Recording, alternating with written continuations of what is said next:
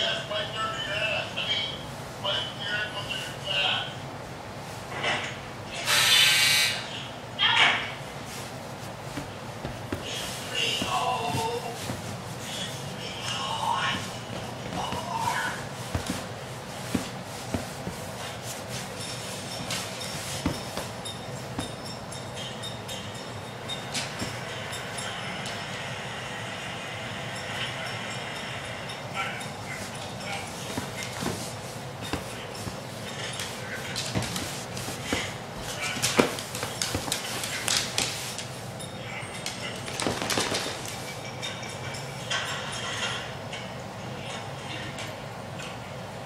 To the shit Big Shitty's been leaving in our bathrooms,